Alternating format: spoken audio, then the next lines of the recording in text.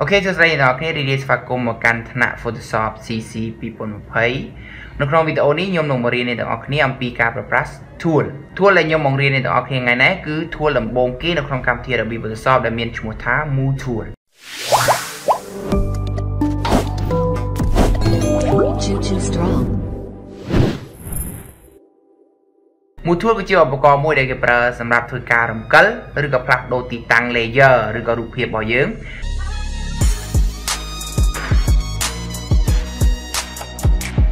បង្រីកឬបង្រួម layer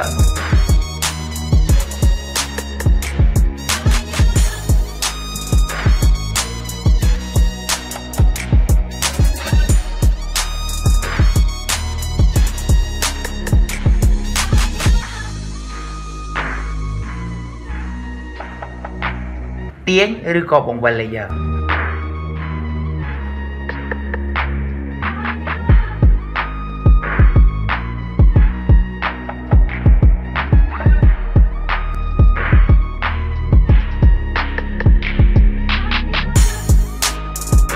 ចឹងកុំអោយខាតពីវេលាយូរយើងចូលទៅក្នុង screen ឬក៏ interface របស់ Photoshop ទាំងអស់គ្នា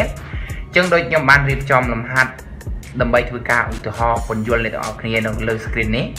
ចឹងខ្ញុំជ្រើសរើសយកឧបករណ៍មួយដែលមានឈ្មោះថា Move Tool Move Tool គឺវាមានតួនាទីសម្រាប់ផ្លាស់ប្ដូរទីតាំងណារូបភាពឬក៏ហៅថា layer នេះរូបភាពយើងមានរូបភាពមួយ layer មួយ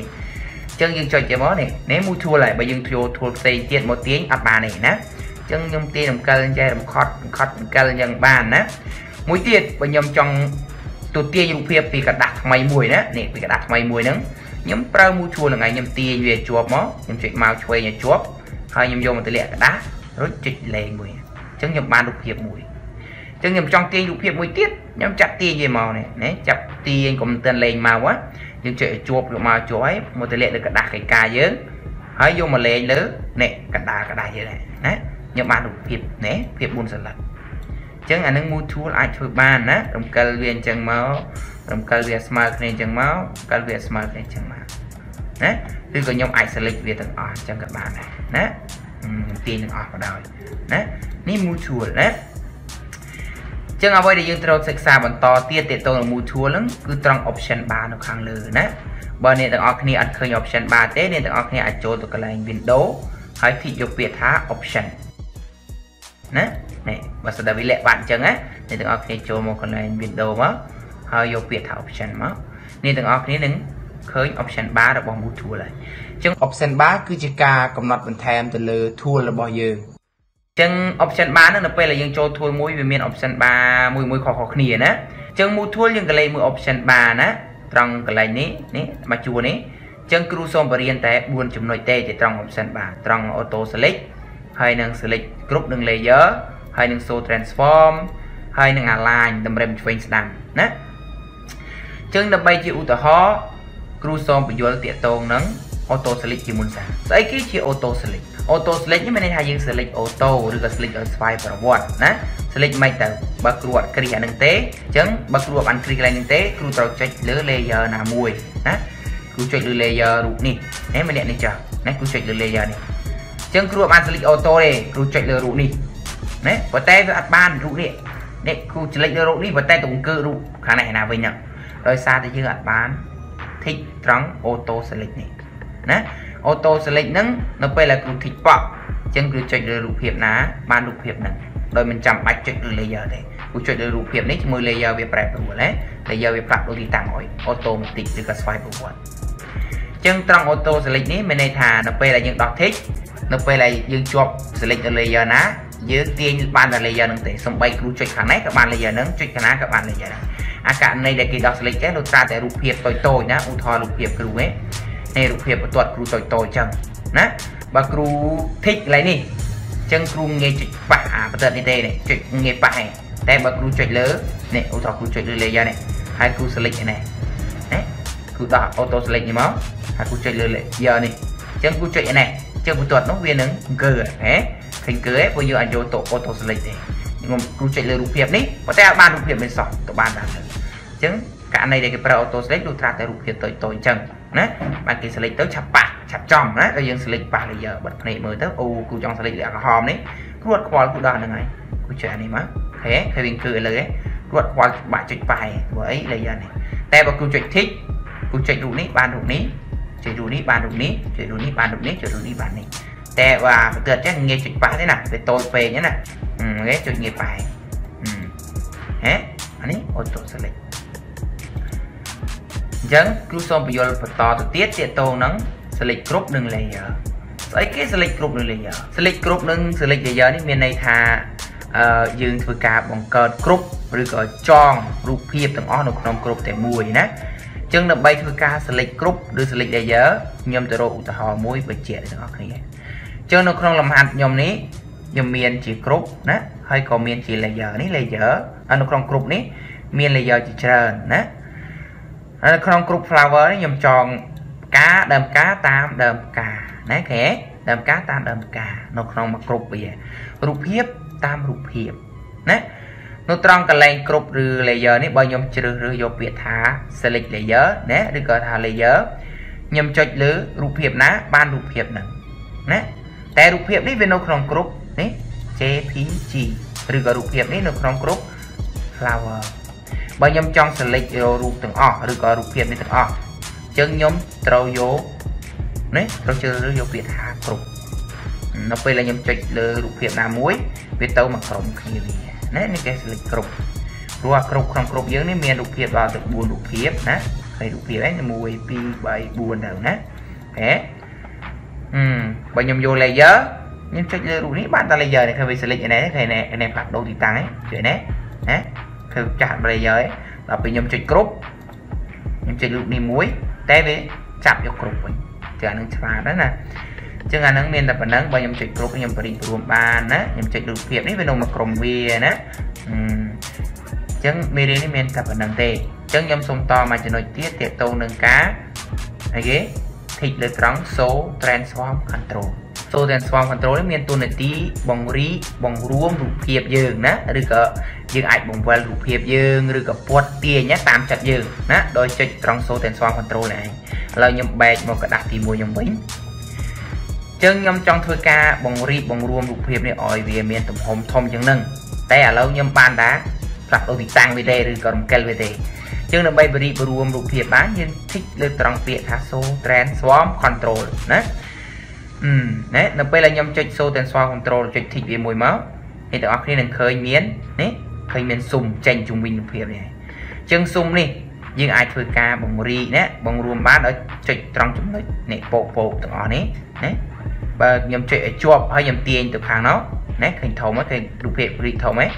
ហើយខ្ញុំទាញទៅវិញរីកតូចណា ឬក៏ខ្ញុំអាចទាញជ្រុងនេះក៏បាន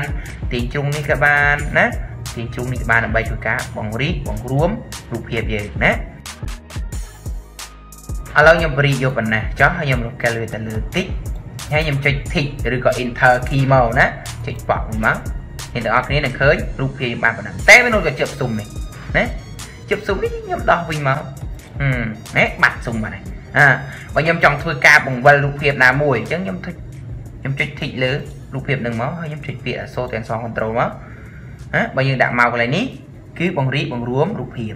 តែបើយើងដាក់មកខាងក្រៅយើងនឹងឃើញណាឃើញមកយើងមានលក្ខណៈកោងហ្នឹងហើយចុចមកឲ្យជាប់ណាចុចមកខាងឆ្វេងឲ្យជាប់ទៅណាយើងទាញទៅតាមអ្វីដែលយើងចង់បានឃើញឃើញប្រែប្រួលទេឃើញអត់អានេះគេហៅថាបង្វិលរូបភាពចង់បង្វិលក្បាលចុះក្រោមក៏បានចង់វិលតារាក៏វិលទៅណាតាមចិត្តយើងចង់បានឥឡូវខ្ញុំតិចដើមវិញអញ្ចឹងទៅខ្ញុំវិលឲ្យតិចប៉ុណ្ណឹងណា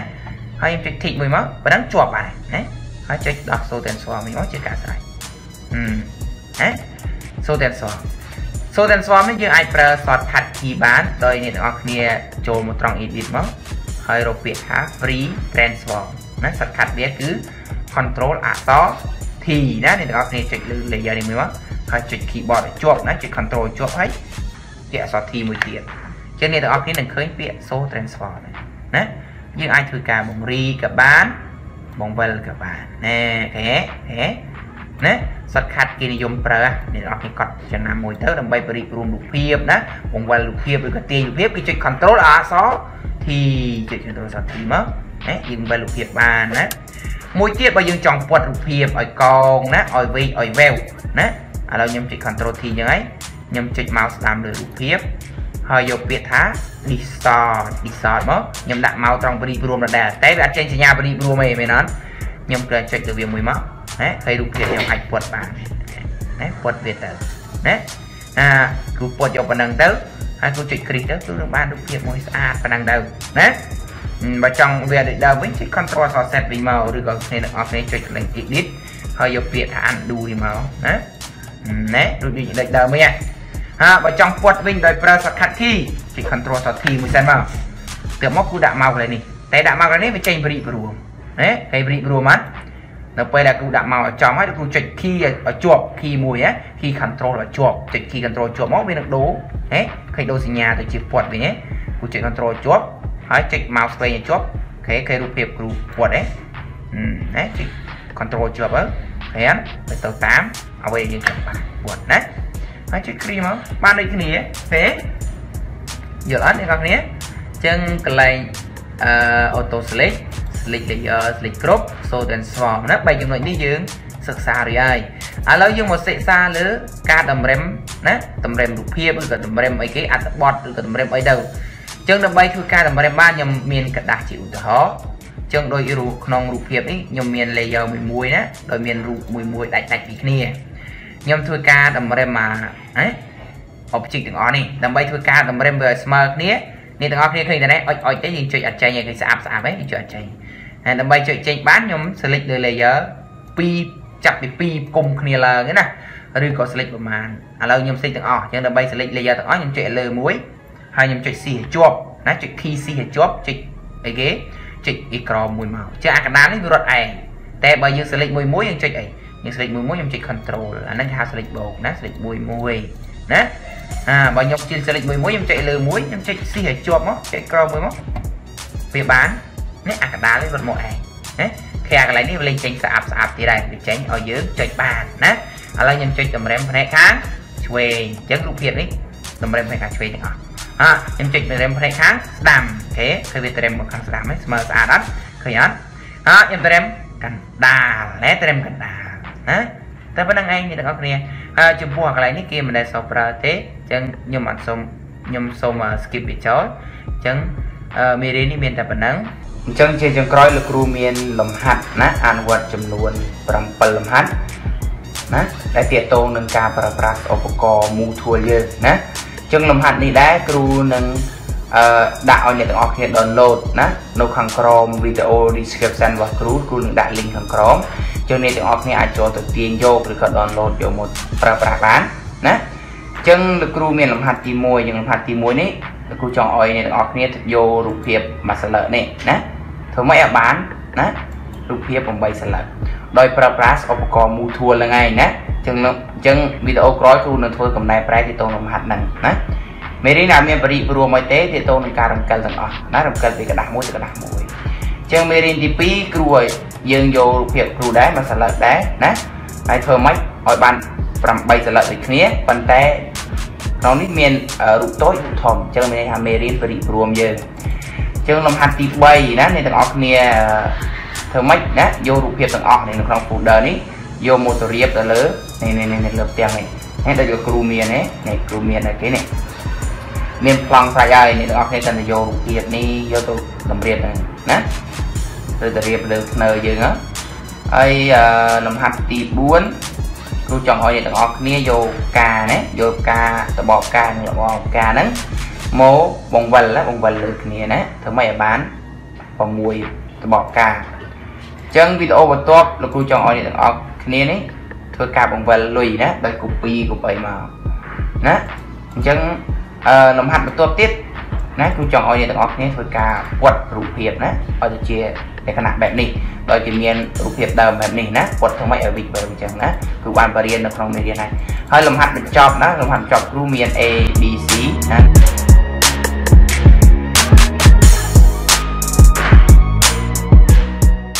ហើយជាចុងក្រោយលោកគ្រូសូមអរគុណសម្រាប់ការតាមដានទស្សនារបស់អ្នកទាំងអស់គ្នាសូមកុំភ្លេចជួយចុច like និង subscribe ឲ្យលោកគ្រូផង បើសៀទៀតកាន់តែល្អអូខេអរគុណច្រើន Choo choo strong.